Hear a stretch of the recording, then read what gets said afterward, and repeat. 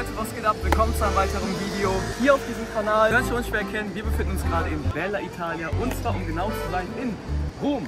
Warum sind wir in Rom? Nicht ohne Grund. Wir wollen nicht die Attraktion abchecken, wir wollen heute Abend auseinandernehmen bei Travis. Digga, ich bin aufgeregt. Ihr habt gehört, heute Abend First Stop Utopia Travis in Rom diesen Montag um ich glaube 22 Uhr heute Abend. Wer wäre ich, wenn ich nicht hier wäre und deswegen bin ich für euch live vor Ort und verfolge das Ganze. Doch gar nicht so viel labern. Ich würde sagen, wir starten direkt in den Vlog rein. Heute, ganzer Tag Rom, erstmal ein bisschen City. Wir gehen auch gleich direkt nochmal zur Location, checken das Ganze ab, was da gerade Sache ist. Dann gucken, was so geht. Heute Abend Konzert, es wird unfassbar krank. Das allererste Mal Utopia und Digga, wir wissen noch nicht, was uns erwartet. Ne? Das ist verrückt. Lasst auf jeden Fall jetzt schon mal sehr, sehr gerne einen Daumen nach oben da.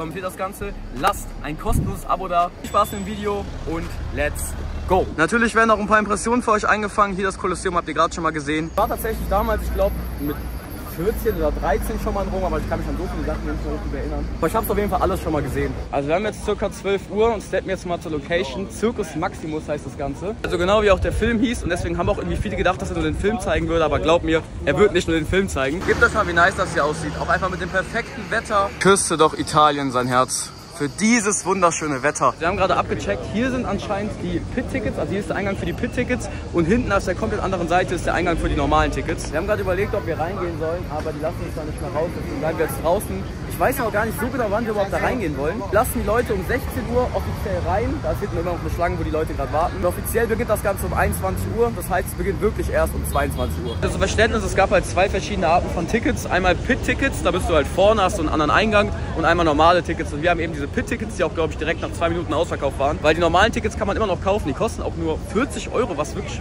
unnormal billig für ein Konzert ist. Also Real Talk, selbst irgendwie UFO in Köln ist teurer. Hier ist Merch, aber ich muss sagen, sieht irgendwie semi aus. Ich hätte mir eigentlich richtig gerne was geholt, aber hätte mich irgendwie nicht so. Ich weiß nicht. Hier so diese Prints und so.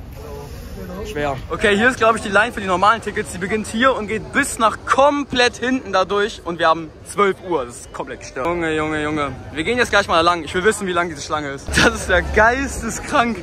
Vor allem, ihr müsst euch geben, wir haben Sonne 33 Grad. Die Jungs sind hier am Sweaten wie sonst was. Und die Schlange geht hier komplett lang. Bis nach ganz da hinten. Und da vorne ist der Circus Maximus. Da hinten könnt ihr es sehen Bühne, ein riesiger Platz. Da ist die Schlange für die Pit-Tickets, wo wir uns später auch anstellen. Wir sind jetzt weggegangen vom Circus Maximus, sind jetzt auf dem Weg zur spanischen Treppe bzw. in die Innenstadt. Ist geisteskrank warm, ich bin am Schwitzen wie kein anderer. Ich, also ich glaube, heute Abend wird ehrenlos. Und ihr müsst euch gehen, die Leute stehen jetzt schon an, dürfen um 16 Uhr auf den Platz und stehen dann ab 16 Uhr so in der Crowd. Spaß mache ich auf jeden Fall nicht mit. Ich weiß noch gar nicht so genau, wann wir hingehen. Also irgendwie steht alles noch in den Sternen. By the way, habe ich auch seit heute Morgen, fragen mich warum, geisteskranke Schmerzen im Oberschenkel, also so genau hier. Also falls ihr irgendein Orthopäde das Video guckt oder so, schreibt gerne mal rein, was es sein kann. Sehen wir jetzt in die Stadt, gucken, was da abgeht, vielleicht was essen, was trinken. Ich bin by the way auch mit Amro unterwegs, dem Bruder. Er begleitet mich was auf geht? Schritt und Tritt. Das sechste Mal jetzt, dass ich Travis live sehe und das vierte Mal sehen wir Travis zusammen. Dann ist das, dann ist das fünfte Mal, dass wir Travis zusammen live sehen. Zweimal London, Rotterdam, München und jetzt Roma. Also ihr merkt, wir haben beide ein bisschen Knacks. Also das ist wirklich irgendwie gestört. Das sechste Mal, dass ich Travis sehe jetzt. Diese Läden hier und dieses Wasser sind so wichtig heute. Wir sind seit zwei Stunden unterwegs und das ist, glaube ich, die dritte... Pu das ist, glaube ich, die dritte Pulle Wasser, die ich schon trinke. Also Jungs, Real Talk, ich habe ein dickes Problem. Also mein Oberschenkel, der, der geht hier an die Grenzen. Ich habe keine Ahnung, was das sein soll, aber ich bin heute Morgen wach geworden. Oh mein Gott. Man das auf der Kamera überhaupt? Wie geistkrank sieht das denn aus? Müssen wir hier runter? Müssen wir hier runter? Kurzer Zwischenstopp. Ich musste was essen. Hinter in der Bäckerei, wo es auch diese ganzen italienischen Paninis gibt und Croissants und Süßwaren. Oh, so ein Tomate-Mozzarella-Baguette sehe ich mich eigentlich. Thank you. Bye. Oh, ja. Ja, ja, ja. Trocken. Trocken? Aber 3 Euro. Meine Ausbeute, wir haben ein wunderschönes, warmes Tomate-Mozzarella-Baguette. Schön leicht geschmolzen, crispy mal das dazu.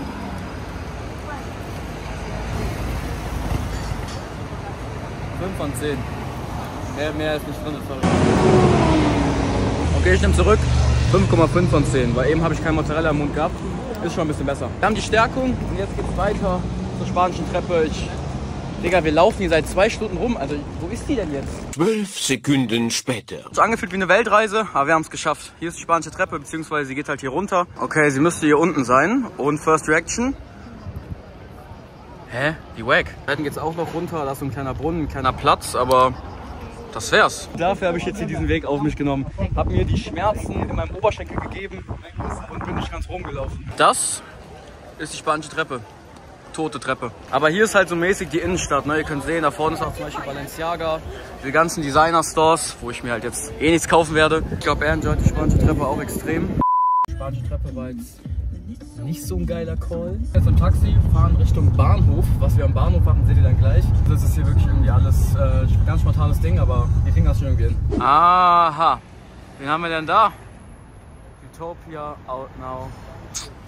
Da, da bin ich heute Abend. Genau da bin ich heute Abend. Zirkus Maximus. Ja, okay, das war's auch wieder. Kleines Update. Wir haben ein Problem und zwar haben wir nämlich gerade 16 Uhr. Ich blende euch hier mal die Story von Travis ein, die er gerade gepostet hat. Und zwar könnt ihr, glaube ich, sehen. Das Geistkrank voll. Die Menschen stehen schon gefühlt bis in den Horizont und wir sind noch nicht da. Also wir sind halt noch in der Stadt. Deswegen kritisches Ding. Ich hoffe, wir kommen irgendwie nach vorne, aber ihr kennt mich, wir dribbeln das eh irgendwie. Ich habe auch noch gar nicht gesagt, das Besondere heute ist, keiner weiß wirklich, was hier heute passiert. Das ist natürlich ein Konzert, das allererste Mal Utopia live, aber wir kennen alle die Setlist nicht. Das ist Utopia Only, ist es eine neue Setlist mit auch alten Songs, keiner weiß. Es ist nicht so geil, wenn es nur Utopia wäre, weil Utopia ist jetzt für live auch nicht so unfassbar krass. Es sind halt irgendwie drei, vier Songs, die ich mir live geil vorstellen kann, ansonsten eher nicht so. Falls ihr euch jetzt fragt, Jan, was ist deine Meinung zu Utopia? Ich habe dazu ein Video hochgeladen auf dem Zweitkanal, blendet euch jetzt mal ein, verlinke ich euch unten, falls ihr meine komplette Meinung und auch Tierlist zu jedem Song sehen wollt. Wir gehen jetzt erstmal aufs Hotelzimmer, bisschen ganz kurz ein bisschen chillen und dann hoffe ich, dass wir irgendwie da nach vorne kommen und dann wird das hoffentlich der schönste Abend meines Lebens. Ich bin hyped, aber ich brauche noch ein bisschen Energie, deswegen jetzt ins Hotel.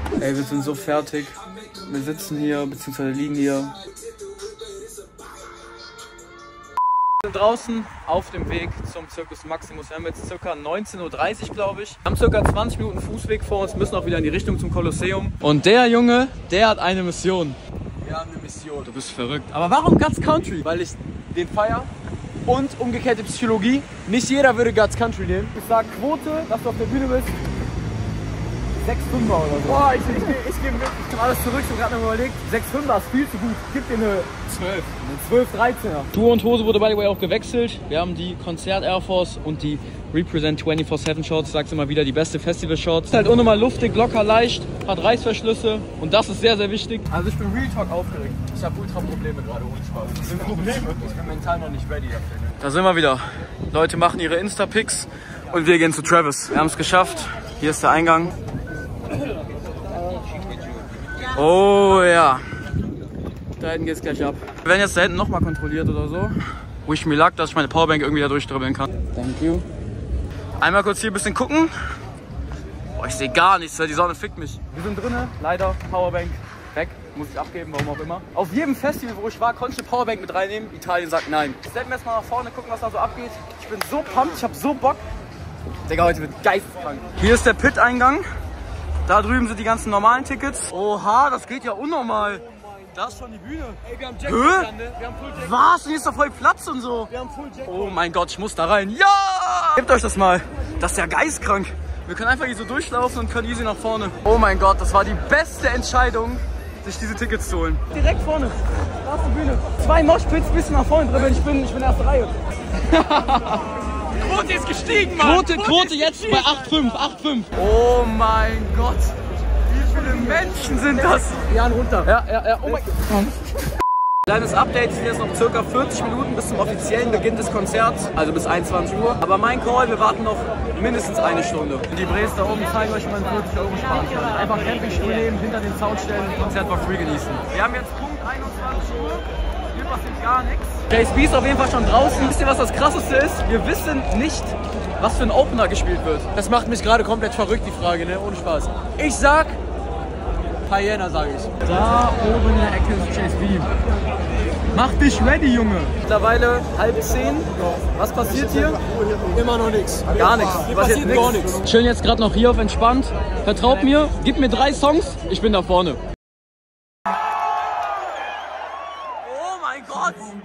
Mein Gott! Ich Hello and welcome to Utopia. Tell the rest of the world how to really raise to Utopia. Can we do that tonight? If you're ready for Utopia, make some motherfucking noise! Wir müssen nach vorne, wir müssen nach vorne. before the show starts.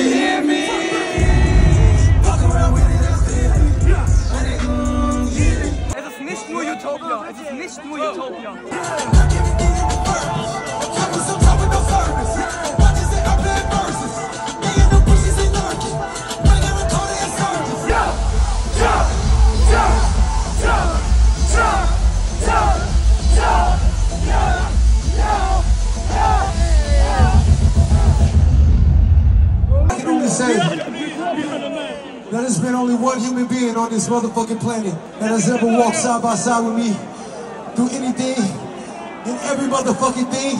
That she wrote speaks to the ground, speaks to the progress toward. Jetzt Kali rauskommt mit Staub. Wenn jetzt Kali kommt mit Staub. Nein, nein.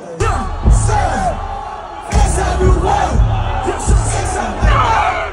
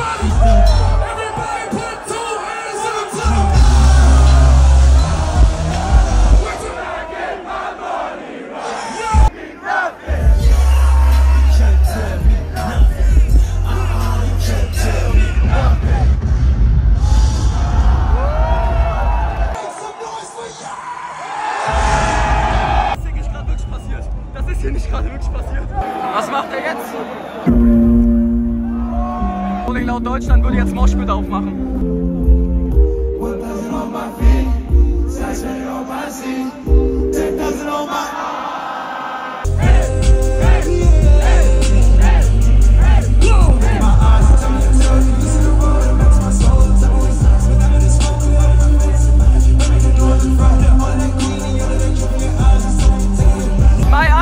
Top 3 Songs auf Utopia. Junge, was geht da?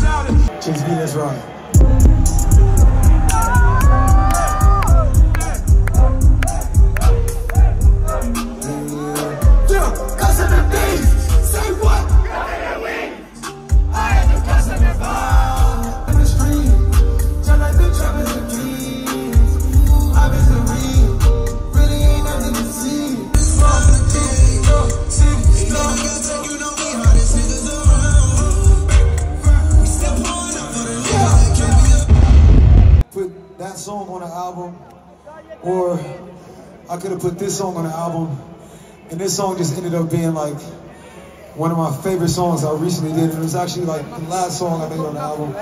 So if y'all know this shit, I want y'all to sing this motherfucker as loud as possible. Chase V. Let's go!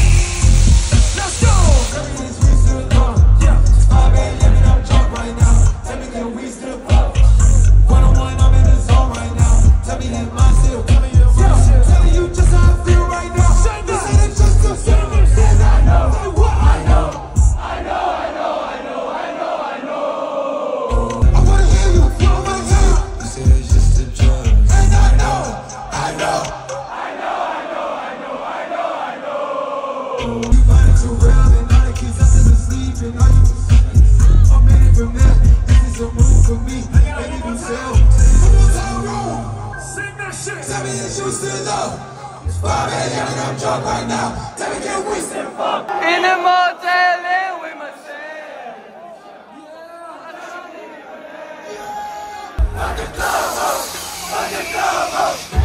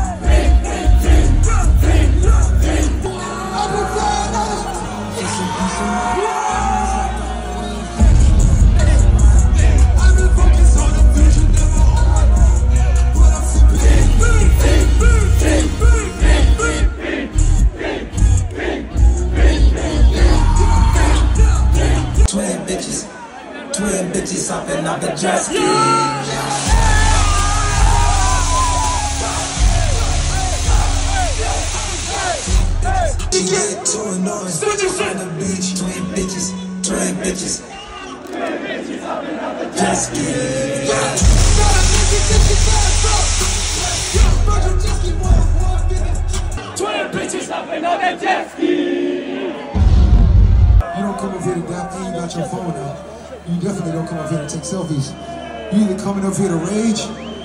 It's the only reason why you're coming up here. So don't look at me. Don't look at me. You got all you got 60,000 people in front of you right now. You chose this, I did.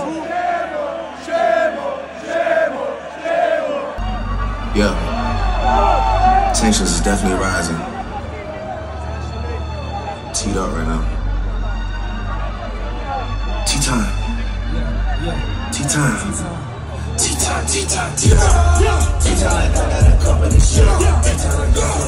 Six. I love the flow. Oh mein Gott, was ein embarrassing.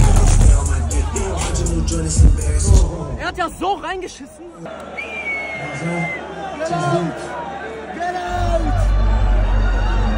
Yeah. Kann man so reinschauen. Tensions is definitely rising. Tea time, six. I love the fuck on a regular bitch. Famous hoes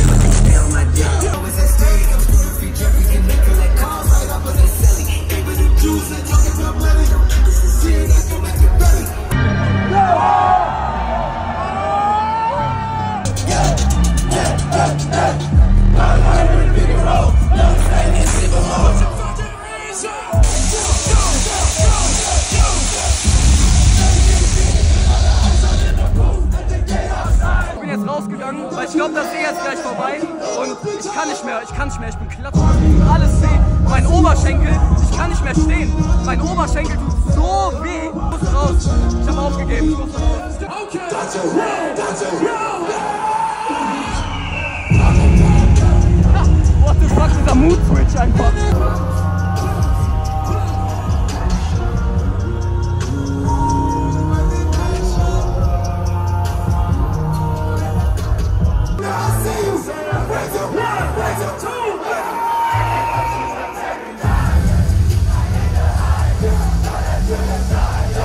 Nobody thought that we could put 60,000 people in Circus Maximus in two days. And Rome made that shit happen for Trav, made that for the whole Cactus Jack family. I want to thank y'all so motherfucking much. I want to thank my big motherfucking brother, my mentor, the person I wouldn't be here if it wasn't for him. Kanye motherfucking West, the illest of all motherfucking time. Kanye West, the illest of all motherfucking time.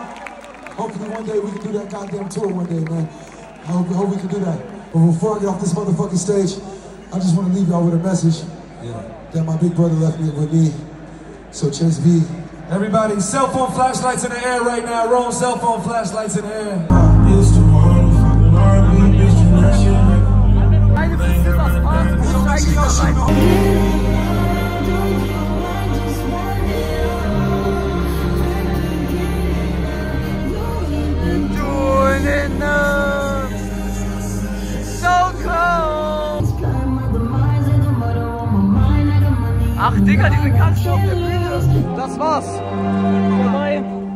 Es geht hier raus.